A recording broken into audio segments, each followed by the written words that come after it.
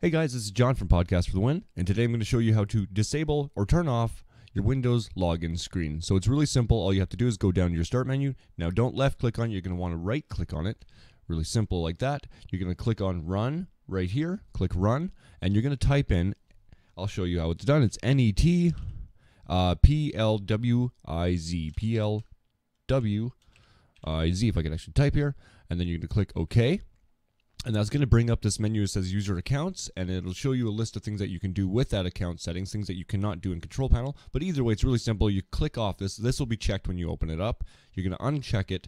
It says users must enter a username and password to use this computer. So you're going to disable that hit apply. It's really quite simple. This sign this will this will pop up here asking you to prompt a password. Just click ok you don't have to do anything with that. You can even change your username in there if you'd like to. Hit ok Again, hit OK. You might be asked to uh, restart your computer. You might not be. But if so, you should be able to restart and you will be able to skip the login screen. Thanks everybody for watching, and I will see you in the next video.